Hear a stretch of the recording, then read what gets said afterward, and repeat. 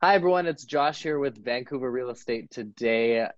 This morning, I've got my good friend Amanda Fernandez, associate at Narrative Financial Services, to come and talk to us about some of the services she offers and some of the insurance policies, things like this that can really protect your family and yourself and your assets and potentially help you build up towards buying real estate. So here's the thing homeowners, homebuyers, investors, we all want to find that perfect property to move into and to eventually sell for profit. And we want to make that purchase in a place with affordable, safe, quality homes, communities, and businesses. Why? So we can actually enjoy our lives, take vacations, and spend the quality time we want with the people we love. How do we do all this without risking a fortune and running ourselves ragged?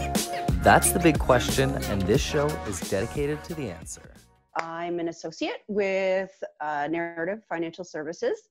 We are a holistic um, planning company. Um, we're based out of downtown Vancouver. Um, we have been in our offices now for 10 years, I believe, at this location. Um, I've personally been working with the team now for four years, and combined, I believe we've hit like 25 years experience between all of us, um, which is great, and it's continuing to grow. Fantastic. And how did you get into this industry? Like, what what what what was the road that brought you brought you into it?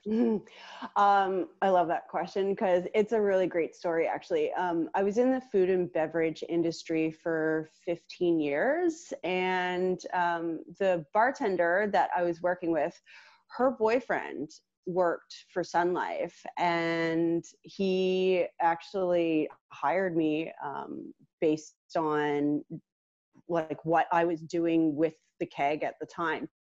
Um, he thought I'd be a really good fit for this role. Mm. And so I decided to pursue that and, and follow that. And here I am today, and I love every minute of it. Fantastic. What do you love about it? Tell me about this uh, this business and, and really your profession. Because when people talk to me and go, "You're a realtor," they they it's pretty easy to understand what that is but i think yeah. someone like yourself financial services is, is, very like vague and hard to understand for for some people yeah so um, well i guess essentially every single one of our team members brings something different um, to the table mm. i personally my passion is life insurance and health insurance and so i try to focus on those two areas of my business um, uh, there are a lot of assumptions out there that we all just, you know, push RSPs and push life insurance, but there's the whole planning and the whole background story to that. Um, a lot of our clients we work with holistically and planning with them instead of being we don't we don't consider any of our clients customers they are clients because we're constantly working with them and building on plans and creating their future with them Okay, so what does like a ongoing relationship look like in the in the life insurance world with somebody? Like, I I, I go with the policy that we decide is right for me, mm-hmm. and why do I need to be in touch ever again, or or like what what does that look like? Yeah, so a lot of people do come in um, into this industry because they've just bought a house and they need insurance to cover their mortgage. And mm. so we work with a lot of our clients building these plans. It's not just a one stop shop. Um, we work with them annually, we do annual reviews. Um, we're constantly being in touch with them, whether that be on their birthdays or just to say, hey, how's it going? Um, just to check in yeah. And so a lot of the entry um, products or plans are it does come in the form of life insurance but to build upon that um, we usually introduce critical illness insurance to basically protect everything um, that you've built over your lifetime so we've got mortgage uh, replacement insurance, I know is one that you mentioned, which is different yeah. than mortgage insurance, and you've got critical illness insurance. Yeah. Are there other kinds that uh, that we also have, or, or are those the two main ones? Those are the two main ones um, that we do focus on. Um, they're the most important to me. Um, on a personal side of things, um, my mom unfortunately passed away from cancer. And mm. so, in dealing with that process, it really, it really created um, something very special that came out of me um, to be able to speak with people about these things. It's kind of it's very strange because not everybody wants to be talking about getting sick or dying. Mm. like these aren't the most fun conversations to be having. But to know that we're creating these plans and putting these tools in place to protect these types of situations it's it's really really important okay so tell me a little bit about um about each of these and, and how like like why why should I go for either one of them other than the general kind of if I get sick, someone's gonna help me. I, am gonna have something to right. fall back on, and and if I can't pay my mortgage, like what's the break it down for me as someone who's not familiar, if you don't okay. mind. No, no, no, not at all. So critical illness insurance, how we gauge it is that we base it around your salary so we're protecting that because our biggest asset is our ability to work and mm. when when we don't work unfortunately you know the bills still have to get paid lights still have to be on groceries still need to be bought and so these plans create that cushion or that blanket to support well support you financially if something were to happen. So we usually base it on like i was saying salaries um, anywhere from one to three times your salary usually is a good range. Mm. um, we tend to put people into plans that have the capability of having a savings in place. So as well as having that protection that should you get sick by cancer stroke heart attack things along that line um, you would be getting paid a lump sum of money to support your lifestyle because in those times of course we're not going to work. We're going to concentrate on our health. But like i was saying the bills still need to get paid. Rent still needs to be paid. Mortgage payments still need to be paid as well. So that creates that safety net in order to still go on with your life and be able to take care of yourself in those trying times unfortunately and that's for something major like a terminal illness rather than the situation we're now in with the coronavirus. Like you're not going to be accessing this if you come down with the coronavirus and are out of commission for a couple weeks or if your job's been terminated. That's not applicable in this situation. Is that right yeah there's there's no insurance um well you could look into disability insurance would probably be your closest to that because if if you can't work and you become disabled then those things would kick in um but we haven't seen anything that does cover this covid. It's it's it, i think it's too risky and it's not it's it's not on a measurable scale right now it's just right. it's it's so new and it's it's it's too fresh to even try to insure okay i want to get into the mortgage replacement insurance but one thing that uh, i've been other people I've known I've known and met uh, through, who work in similar industry to you, they always they talk a lot about building up equity uh, mm-hmm. as as we do uh, when we're paying down a mortgage for a piece of property. So, can you share with me a bit about how you build equity through life insurance? So, essentially, you can't really build equity when it comes to life insurance. How it works is that you're covering a certain asset, you're covering a liability. So, if something happens to you and you unfortunately pass away, this money can go to wherever it needs to go to. With mortgage insurance it's it's a it's basically it's a cookie cutter plan because the banks get paid. With life insurance your loved ones get paid. So if you need to pay off the mortgage if you need to pay off certain debts um, mm. then you have the ability to use that money to do so. So my misunderstanding when this was a while ago mind you but someone had told me you can build up this financial asset and pull money out of it maybe down the line to purchase a piece of property and you this can. is a way to yeah. this was a way to do savings kind of a smarter way well it's it's not a smarter way it's just in a different way you can it's so what they're talking about is permanent insurance okay so that there is an investment component that's built into the policies but you pay astronomically more money than you would for say a term 20 um, so what that does is that yes, you are building money in the policies, but even if you withdraw the money with some policies, they would collapse upon themselves. And because you're taking that cash out, you yeah. have to claim it as income, depending okay. on the taxable gain. It's, it's there's two types of products. Basically, to break it down simply, with life insurance, there's term and there's permanent. So the permanent plans, yes, you, you, can build a cash value within that. They are more expensive.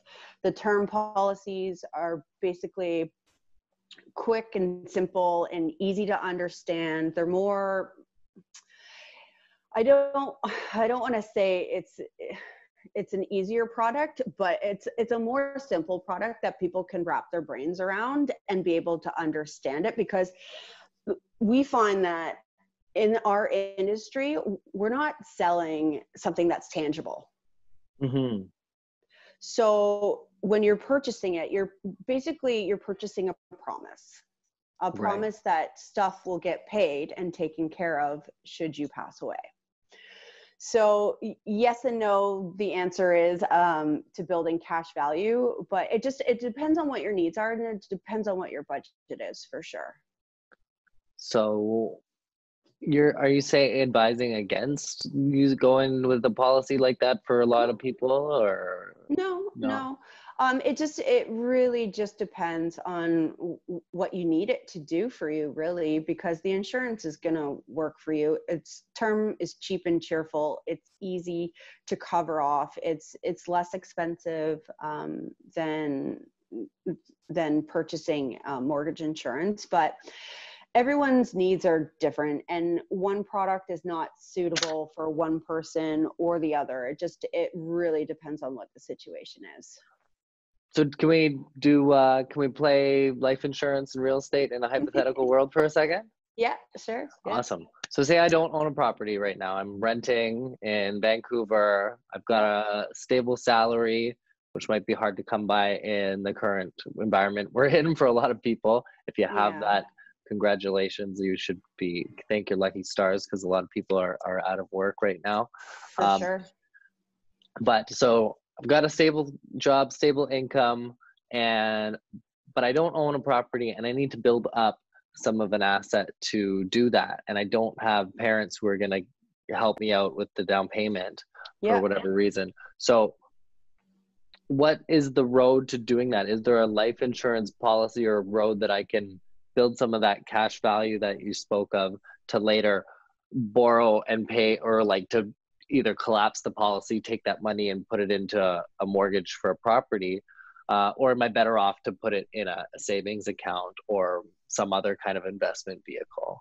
You well you could do both um, but hypothetically speaking, based on um, this situation, honestly, I would recommend critical illness insurance because if something does happen to you and you've created a nest egg that you want to use to purchase your first home, then I would get this product because essentially how I would set it up is that we would cover off the liability of you possibly losing your salary because when we lose our salary guess what's going to go first we're going to dip into our savings and so mm-hmm. we can create a savings component built within the critical illness insurance policy that allows you to receive the premium back in 15 years mm. So, whatever money you've paid into this particular policy, either way, you're covered. If you get sick, it'll pay out. You're covered.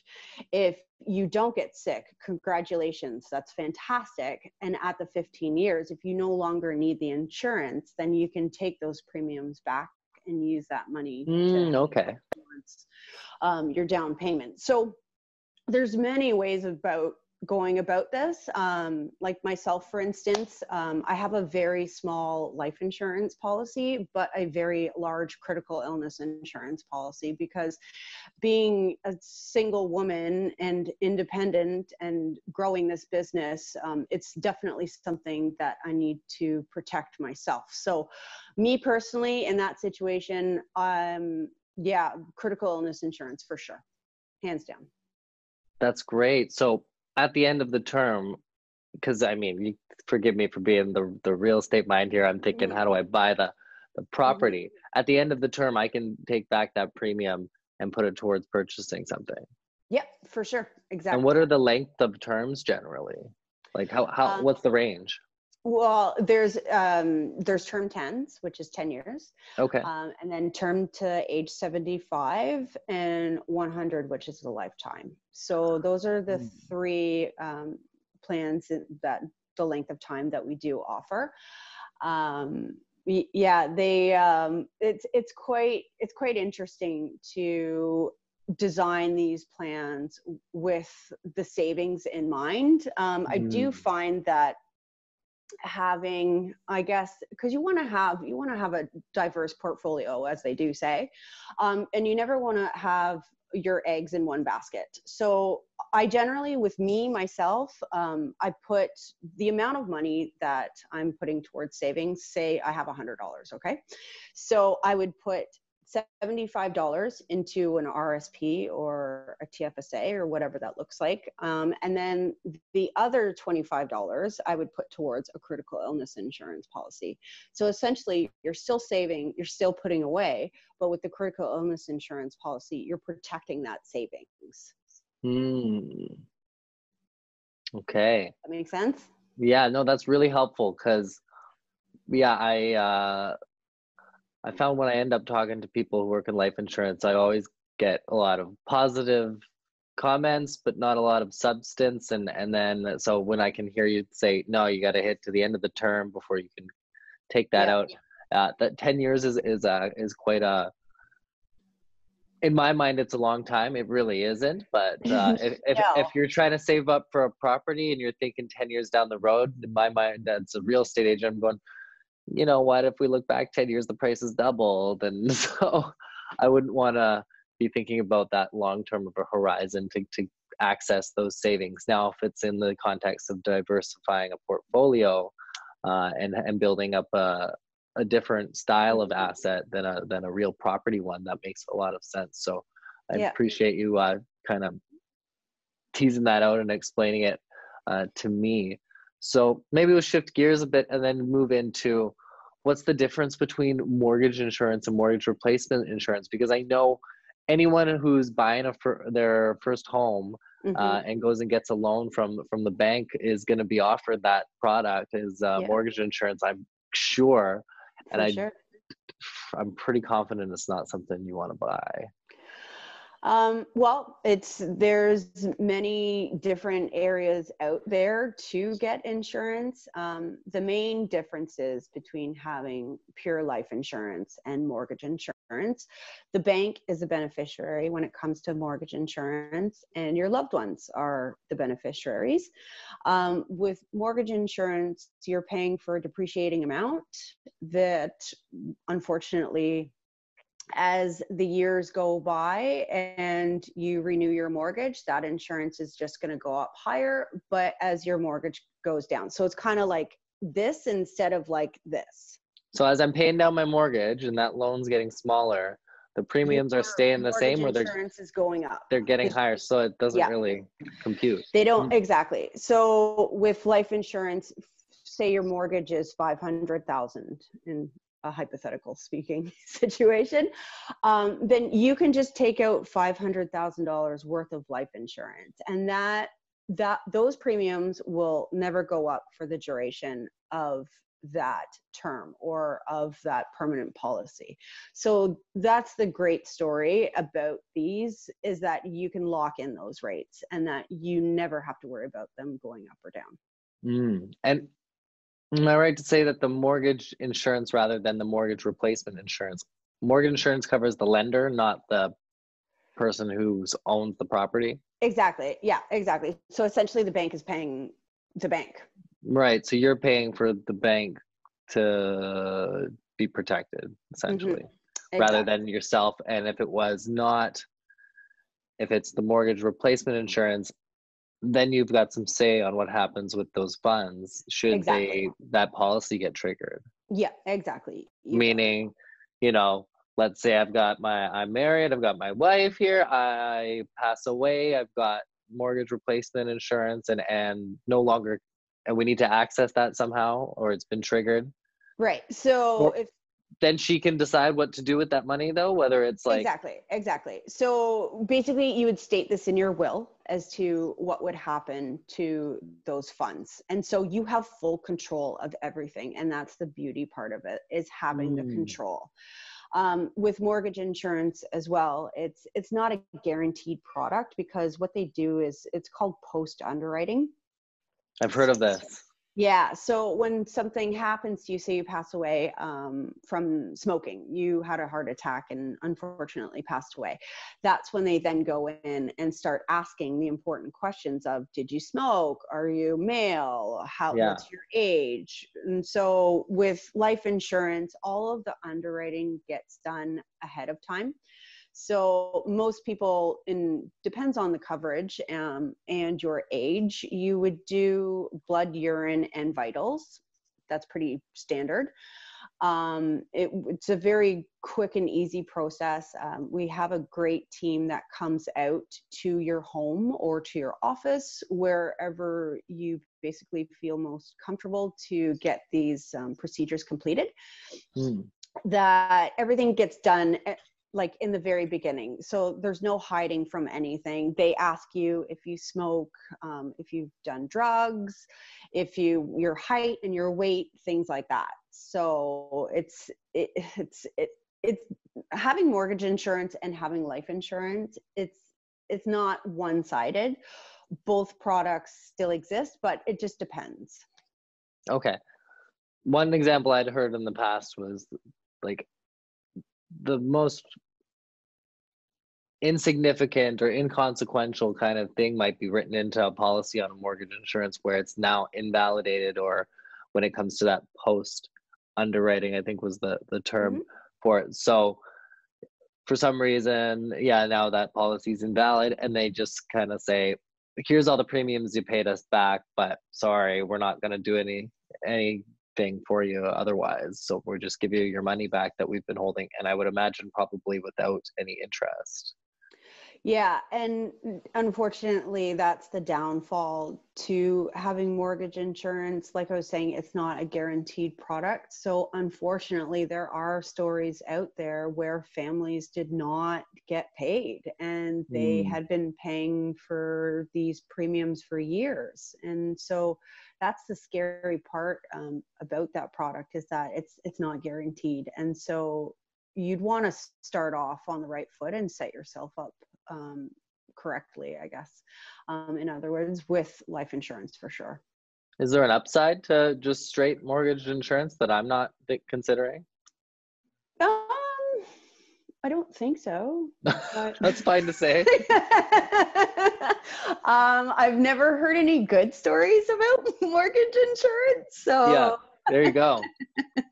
Nor have I. So uh, take that for what it is, and, and maybe ask your friends if you if you don't believe us. Yeah. Well, uh, honestly, having something is better than nothing, but yeah, yeah. for sure, you know, like it is what it is.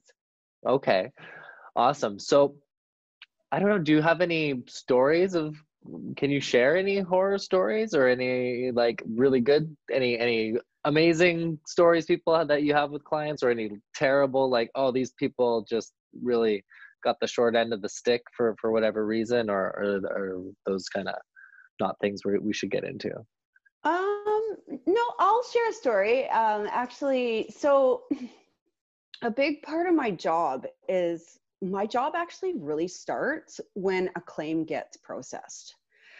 Um, I recently had um, my first critical illness insurance policy, unfortunately, um, pay out um, to mm. a client that I had I had met with a few times. I had been to her office. Um, I had seen her at um, at Lucia in Cirque, and we had become quite quite comfortable with each other and really appreciated um, each other as businesswomen and um, working independently. And so, unfortunately, she called me a few weeks ago and she basically gave me the news that she has cancer. And so, mm. that was when, like, that's when I start to, like, that's when my job really does start because I need to get her organized. I need to get eh, the team organized and to basically get her where she can feel comfortably financially um, right away and so to bring that comfort to somebody it's very it's very humbling um, mm. it's it's something that i never want to be able to use but when i have to it's it's a big part of my job for sure hmm. what would be like how does it work for someone like myself who doesn't have a, a steady uh, linear kind of income to to peg against? Like what do you do for the self-employed independent contractor or the entrepreneur? Like what options do, do they have? Because we don't have in, a in what sense? Well for if i want to buy some kind of life insurance product whether it's critical illness um, and you want to ma- market against my salary i mean it's not it's it, it it's not um i know where your brain's going and it's not set up like that. Um they they don't base it on when you get paid. It's based on like the fact that you are getting paid. It doesn't it doesn't matter if you get paid once a year or twice a year or quarter right. I, I guess i'm thinking like. of more what what my I don't know. I hope no one from the CRA is watching this, but what my tax return shows, you know, because no, a lot of things has, no. run through the yeah, the no, no, no, no. So if something happens to you, this money either goes to you personally, yeah, as a lump sum, tax free, yeah, and if something happens to you and you pass away, your loved ones would receive that money tax free. And the num the sum of that money is determined by how much I'm putting into it, not by anything else it's based on your coverage amount that you've applied for. Okay. So it's all is coverage amount. It's not against. Yes, exactly, exactly. Yeah. Awesome. Well, I think that's really enlightening, at least for me, on uh, on what you do and, and the kind of products and services and, and ways I can protect myself and build up a potential asset over a term to with that eye of leveraging it towards property at a later date maybe tell me i'd love to hear how you've been impacted by what's going on uh, in the world right now where you know you mentioned your office where you have been for 10 years but obviously we're both working from home at the yeah. moment. Yours looks a lot more homey than mine i gotta say i like it. Oh thanks uh, coming to me from the west end on that end of the screen over here we're in yaletown i know so, we're not far from each other at all it's so weird we're like literally right there. Yeah exactly so tell me how you've been impacted by the changes we're seeing over the, over the last four weeks. What's it been like for you? Um, it's been interesting to say the least. Um, we've had to evolve and adapt very, very quickly. Um, my last day in the office was March 16th. Hmm. Um, we came in and collectively, as a team, agreed that okay maybe it's time we should start working from home. And then the next day tuesday um, trudeau came on and recommended everybody work from home if they can and self-isolate mm. if they can. So that started um, and then basically a lot of my job is meeting with clients face to face. And so we had to very, very quickly as a company um, adapt and evolve and make changes. So you and I are on Zoom now. Yeah. Um, so Zoom has become a daily tool that I use to still continue and grow my business. Um, we've we're well we're now able to do applications over zoom um, we're mm. uh, yeah which is great um, because if we couldn't complete applications this would not be happening um, mm. so we've basically incorporated every single technological like tool we could have um, laptops. We would some people went from desktops to now laptops um, using zoom. Um, we found we've incorporated um, more social media into our business um, than ever before. You and i were talking about instagram um, mm-hmm. so that was basically approved last week, which was great because I love Instagram and I love using the platform. Um, but I was never able to incorporate my business into it. And so now finally I am. Um, now, is so, that just for narrative or is that for all insurance brokers across Canada? Well, that's solely for Sun Life. I can't speak Sun Life. On, okay. Yeah, I can't speak on behalf of other insurance companies. But Sun Life um, wouldn't let people do that before, and now they've said, "Okay, go for it." Exactly. Yeah. So now um, we're on LinkedIn, um, Facebook, Instagram. So we're using those three main platforms. Why would they? Why? Why did they wait till now? Like it just seems like such a Oh, yeah, I'm like, not. I'm not too sure. no, I know. Yeah, I'm not too sure. Um, but everything is changing daily, if not like hourly. We um, we get updated newsletters twice a day.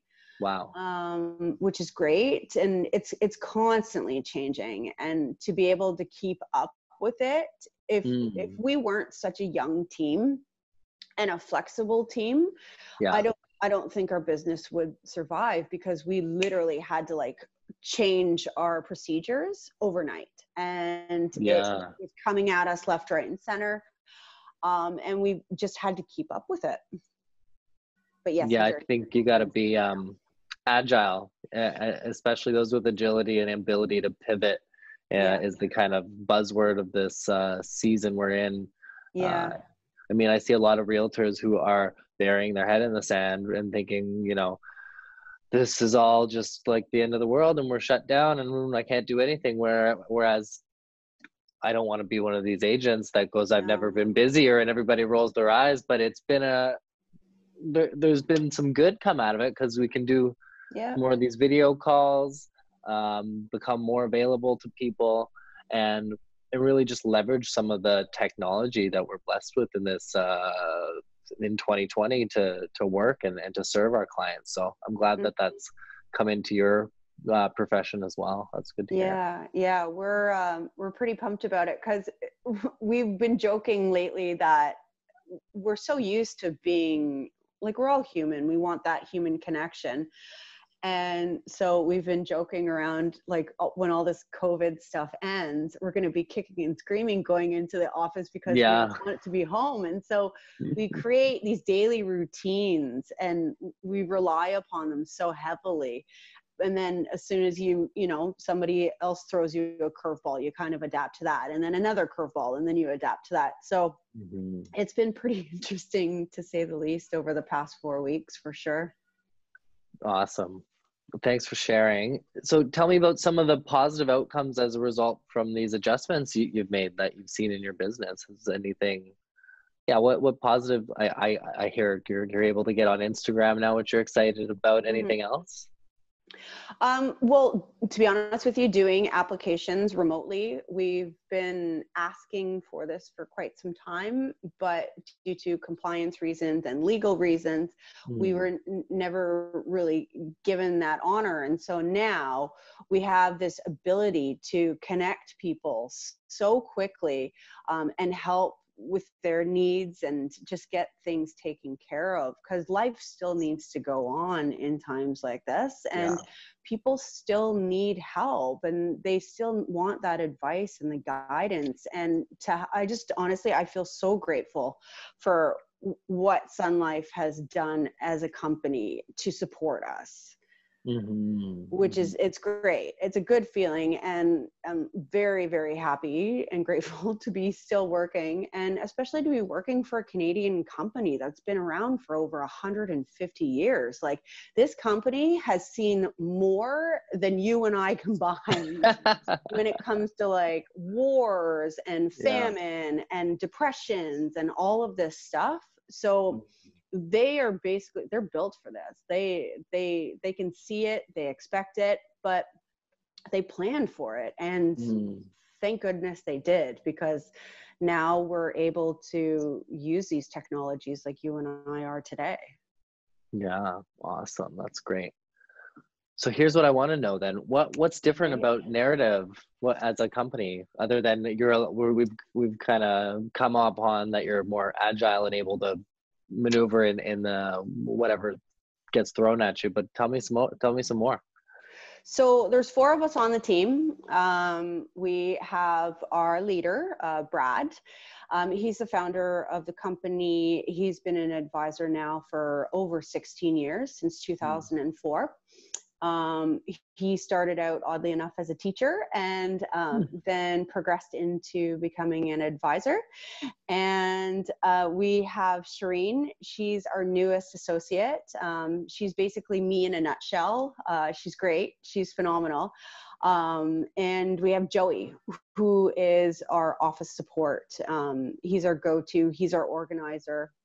He's basically the point guard of the team.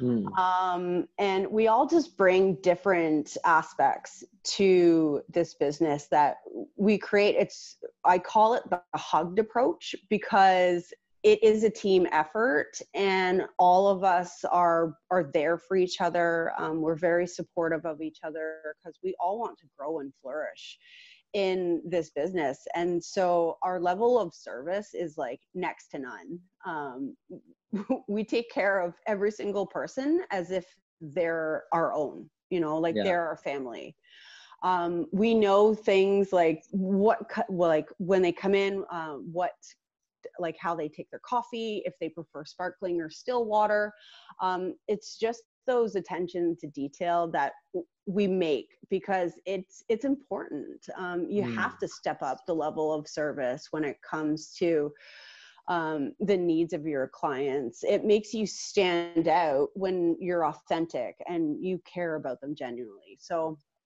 um, yeah, I don't know if that answers your question. No, that's but... great. Yeah.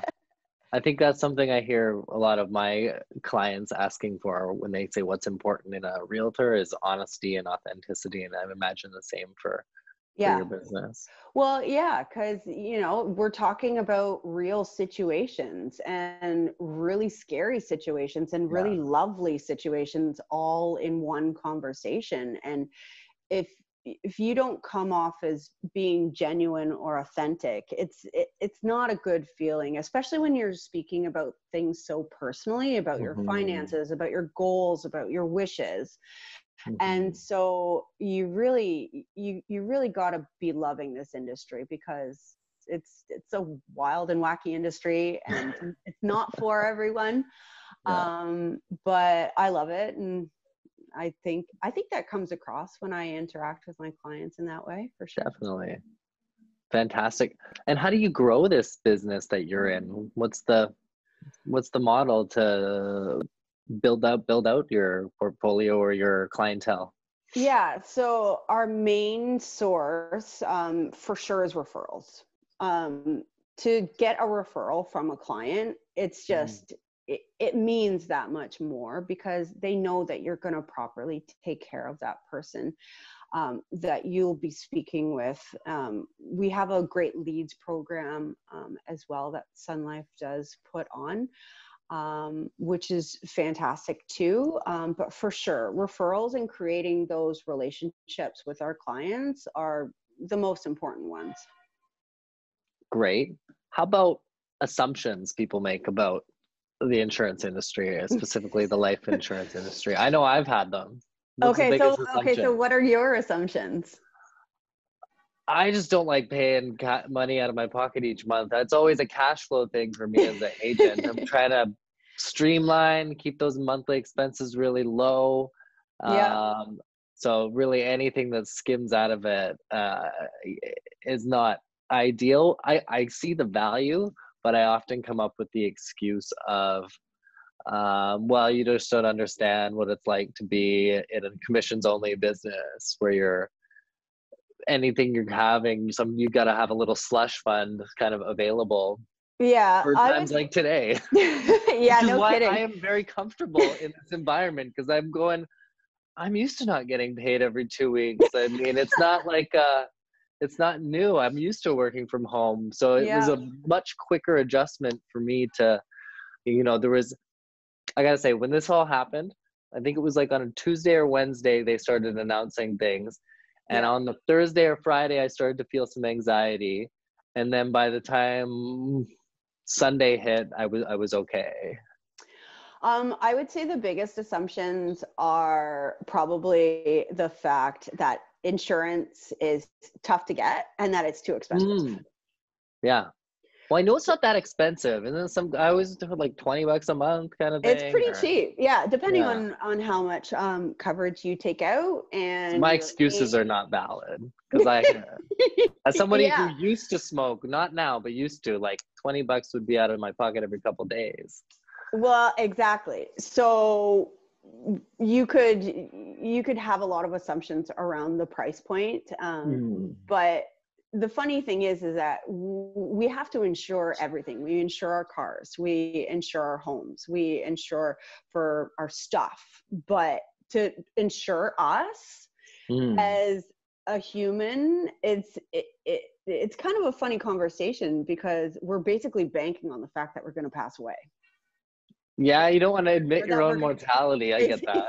Exactly I get that. yeah. So to have that conversation um, with somebody, I would say those are the basic assumptions that it's too expensive and it's mm. tough to get.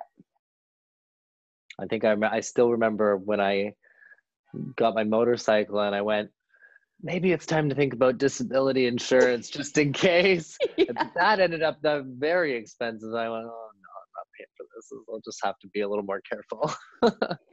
yeah, don't ride motorcycles. well, I, I'm uh, from what I understand, as soon as you get married, the motorcycle kind of gets sold. So I've got uh, that. That's kind of my policy on exiting motorcycles. So. Who see that's a, that's that's an that's an assumption that you're making. Oh, I just see too many guys I know who used to have bikes, and then they get married, and then the wife the kind of says, "You're getting rid of that." Yeah, yeah. yeah. Got to provide for me and our kids and whatever yeah, I guess when the kids component um, yeah, for sure, the bike might have to go. so, what's the hardest part of what you do? Oh, the hardest part, um, for sure, when I get those calls um, saying that something's happened to so and so, or um, this is happening to me right now. It's it's those tough conversations um, that I have to have and I have to stay strong um, for my clients because I am an emotional being and I care deeply about them. And so what affects them affects me. Yeah. And so it's when I have to deliver those checks that it's it's definitely the hardest part of my day for sure. Hmm. No, I get that. Yeah, I'm I don't know if I can do that. Like I got to take on a lot of to be the bearer of bad news. I even have a hard enough time when it's like you got to just tell somebody the price that they want is not mm-hmm.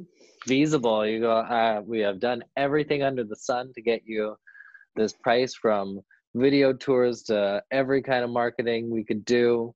Yeah. And the market is just not dictating it. And so, because you're changing people's plans and, and how much more like how much more how much more serious is it when it's their lives rather than their size of the home they're trying to move into? Like yeah that, and their sure. health so i get that. Yeah. What's the best part of your job? Um, i would say reaching our clients expectations and goals and seeing basically the plans to the end. It's it's pretty cool when you start to make those plans and put those plans into place and see stuff happening um, because like i said it's it's something that we don't sell something that's tangible we sell promises. And so based on that, it's pretty remarkable um, when you see that that person, they finally, you know, they've put enough savings aside and they have that money to use to purchase a mortgage and seeing those things through it's it's it's pretty cool so you save saving to purchase a mortgage and and helping people see the plans through to the end can you say more about what that looks like yeah, so we do a lot of retirement plans um, with our mm. clients as well. And so when working with them to find out what their needs are, what their wants are, what their goals are, um, mm. it's it's pretty cool to hear everybody's individual story because everybody's individual story is that unique to them, and it is only their story. And so when we're moving clients into the next phase and chapters of their lives, we're slowly getting to see people achieving what they want. And to do that, it's like it's like okay so you get married you have a baby you buy a house you get a dog. We get to see all of that unfold. Mm. and it's it's really really nice and very humbling when somebody calls you to say hey amanda we had a baby you know like wow. we need your help. We we got it we're, we're moving into the next phase. Like what do we do next? And right to flush those out it's it's awesome. It's it's a good time. That does sound like a nice picture. Yeah. So what do we got? I got a couple of those things now. Still working on on some of them. I'll let you know when I got the full package. Yeah, you gotta slowly chip away, you know, you gotta you gotta earn those stories. It doesn't just happen in one day. That's right, that's for sure. So what recommendations would you share with with both of our audience here on what, what they would want to think about moving forward, especially in a time uh, like right now where we're really hitting reset on our lives, on our relationships, on our well for me for the business plan for the year mm-hmm. uh, it's just been a really there's been a lot of silver lining in, in this uh, in this pandemic i found for people who choose to look at it that way so yeah. what recommendations would you share for for uh, anyone who's maybe part of that thought is life insurance well just start having these conversations um, regardless if you know if it's the right time or if it's the wrong time. There's obviously a why to every single conversation that we do have um, so to me just start having those hard conversations if like you have any questions or anything um, for sure reach out you know we're all here to help each other through these yeah. types of situations and to just start you know it's okay to not have that hundred dollars to start saving now but if you have $25 or whatever that amount is just mm. start having those conversations now start putting those plans in place because this isn't forever this isn't gonna last and mm. it. It might be the world is definitely gonna be a different place after all of this um, but we still have to plan for our future and we still have to set those goals and achieve those goals. So, my advice to any person out there now is to start having these conversations today and start asking those tough questions. And so, if someone wants to start having that conversation with you, what's the best way to reach out to you? I would say probably email. Um, my email address is amanda.fernandez at sunlife.com, or of course, you can now reach me on Instagram um, and as well as Facebook. So, Facebook is Amanda Fernandez, um, sales associate with Sun Life Financial, and then Instagram is Amanda Fernandez SLF. SLF. Mm-hmm. And Fernandez with a Z or an S? Because I know that ah, can end both ways. Good question. So it's a Z because my father's from South America. So I got the Spanish blood. If it were an oh. S, if it were an S, apparently it's Portuguese. Okay, I didn't know that. What part yeah. of South uh, America is your family from? Uh, he's from Uruguay. Uruguay, amazing. Yeah, yeah. He was born in the capital. He's born in Montevideo. And do you still have uh, roots and ties back to there or no? I don't know. Unfortunately, no. I, I want to go. One day I will make it. I promise. Fantastic. Well, I was I'm still looking for someone to give me some Spanish pointers and lessons. So uh, I guess oh, that won't be you. No, my Spanish is so terrible. No, it's no. I don't want to embarrass myself. okay, okay. We'll save you though. We'll spare you from that. But I will. Uh, I will also put your information, whether it's in a little subtitle or in the description. People can find you there. Cool. And uh, anything that we didn't cover that you want to leave us off with? I don't think so. Um, I do want to say though, thank you so much for doing this with me. Um, I've never done anything like this, so I think this is this could be the new norm. Um, but uh, yeah, it was interesting. It was good. You're amazing. You're amazing. You should do this all the time. Thanks, Josh. Vancouver Real Estate Today explores the art of living through genuine storytelling and localized expertise. If you enjoy what we do here, do us a favor and write us a review and visit us at vancouverrealestatetoday.ca and discover the home that lets you express and live who you are.